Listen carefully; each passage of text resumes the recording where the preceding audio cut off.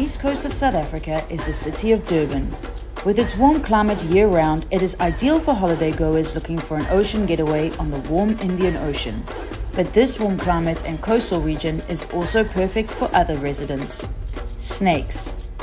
The greater area of Durban is home to about 20 species of snakes with many highly venomous species, such as the infamous black mamba, but also other species such as the Mozambique spitting cobra. And with both humans and snakes living here, it is easy to understand that sooner or later they will bump into each other. So today I'm going to be joining Nick Evans, who is known to be one of the go-to guys when it comes to snake rescues he is a professional snake rescuer and also a reptile conservationist here in the area of Durban. So for anybody who has a phobia of snakes, I suggest you turn off this video now and otherwise buckle up because I think it's going to be quite the adventure. Okay, Nick, so what type of snakes can you expect uh, to find here in the area of Durban? Um, so our most common snake is the spotted bush snake, which is totally harmless. Brown house snakes, which are also harmless. They're the most common. We do have highly venomous snakes like the black mamba, that's the most famous and the least liked. Um, mm. There's quite a lot of them. We've got a lot of um, habitat for them here, uh, a lot of food, there's a lot of rats, feral kittens, they do like dassies.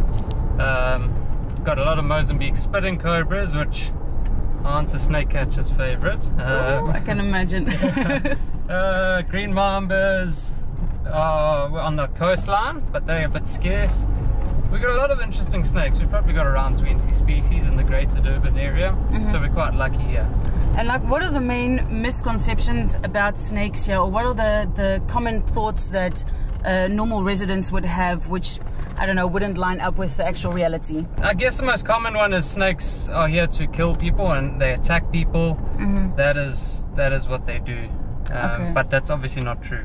Okay, so we've arrived at the location where the releasing will be done, but first the snakes need to be measured. We have uh, Nick and Warren who are going to be doing the measuring, and uh, then they will be released into the bush. So, Nick, why do you actually have to measure the snakes before uh, they get released? It's just uh, like if we ever catch them again, we can see how much can see how much have grown and, and take a, a weight so we mm -hmm. can mm-hmm. see if they if their health is like if they're maintaining a good health or if it's decreasing or yeah because you microchip the snakes as well so you also know which snake is which yeah so we microchip them it's the same one dogs and cats get okay the exact same one so it's not a tracker it's just gives the snake an id number when they are caught again yeah for example so if we catch it we scan it it's, it's going to help us understand suburban mambas better because they're here and we need to see how best to conserve them. Mm -hmm. um, yeah, because it's, it's a very interesting topic. Like we have a very highly venomous snake living among people, and we see like hardly any bites. Mm. And we're just trying to understand them better. Okay, so I'm near the poopy end. you can take the middle if you want out of that. Okay, I just need to come forward. Forward, forward, forward, forward. Right. Oh, okay, well when he is like extended, 230. Just need to come forward a little bit. Okay. Forward, forward, forward, forward. Yeah. Okay. 225. That's a female. Because the probe's not really going anywhere. You don't push hard, mm -hmm. but if it's a male, it goes quite far down like that.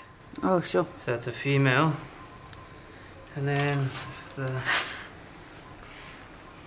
quite relaxed. Just gotta scan it. This is the. There you go. Just want to check there's nothing. Mm, this is a microchip reader? Yeah.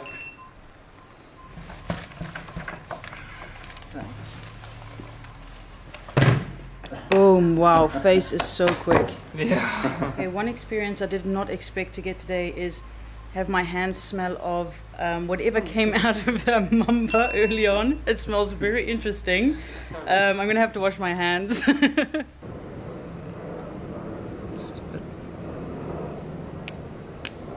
Thank you. Boom, done. Oh, sorry, lady. There you go. Okay, so there was somebody helping us with the measuring, which was Warren.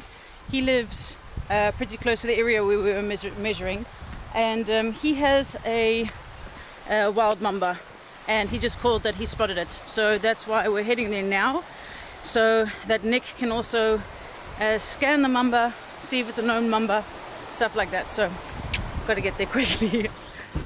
But went over there and down the back, so. I'm trying to push this up. I'll put a shot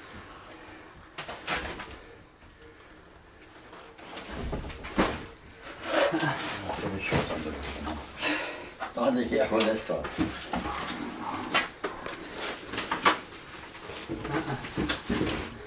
Yeah, This female, that's a big one. yeah. approximately Two plus two and a half. two and a half plus meters. I've had the worst luck with mambas so far this year. Don't surprise me if it's gone. Okay, Nick, how is the luck going with Um, regards to the mambas? What you were saying? Been a tough year so far. I've missed most of the mamba calls I've gotten. I Yeah. I haven't even had that many mamba calls, but yeah.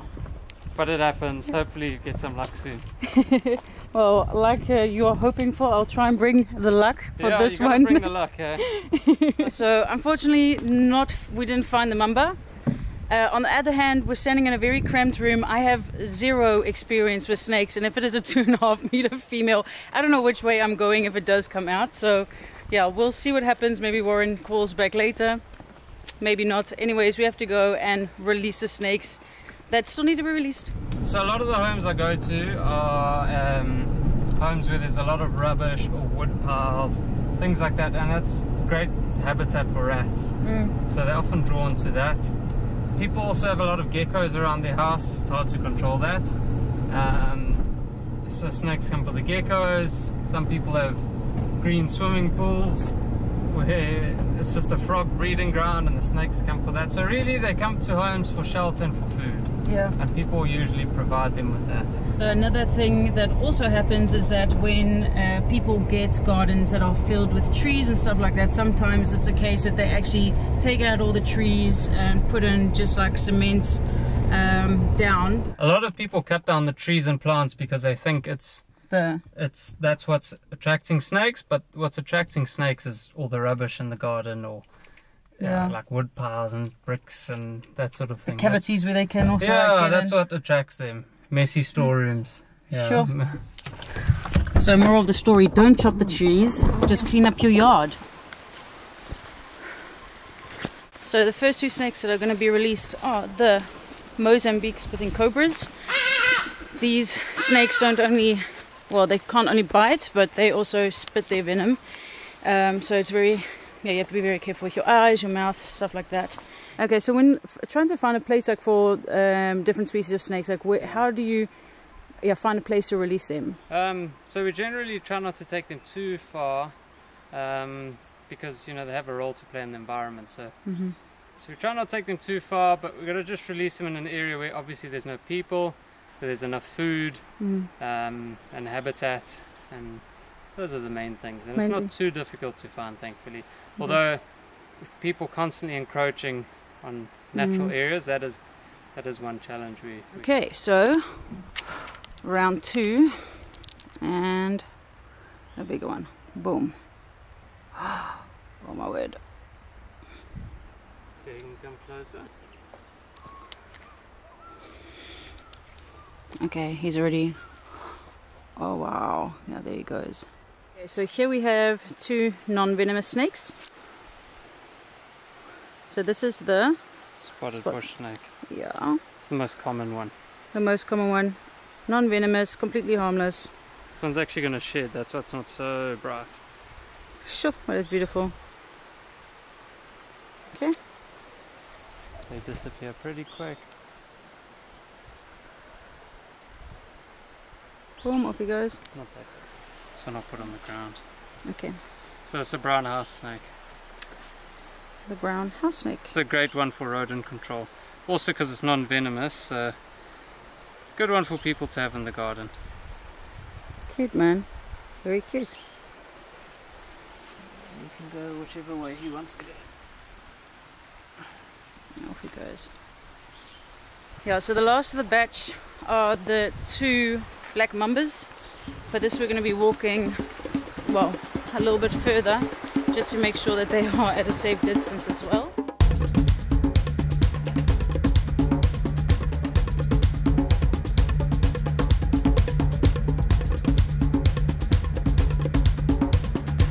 Cool, so there's a little Mozambique spitting cobra at someone's, looks like someone's door. Uh, and they're actually quite close to our location. Oh, so they have the hatchling somewhere, but they're not even sure. They're not, they've lost sight of it. Generally when people lose sight of it, you don't find them. Mr. Mamba, or Mrs. Mamba, should I say? Waiting to be released. females? Yeah. Miss Mamba, ready to go home. Mm.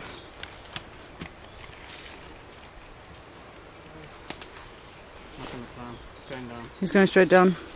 Oh, wow, but look how huge. Oh.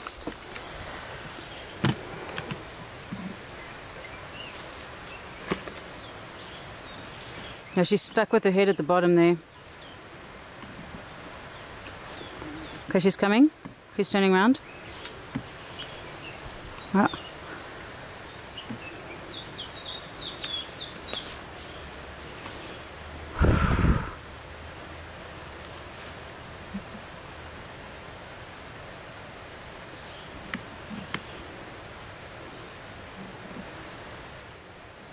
Oh, there she is. Oh, she slid back. Oh, she's gone up. She's gone. Yeah, she's gone. Oh, no, no, no. Oh, I don't want to. Come, come, come, come, come, come. Okay, I'm not going to be able to. Oh, there we go. There she's gone.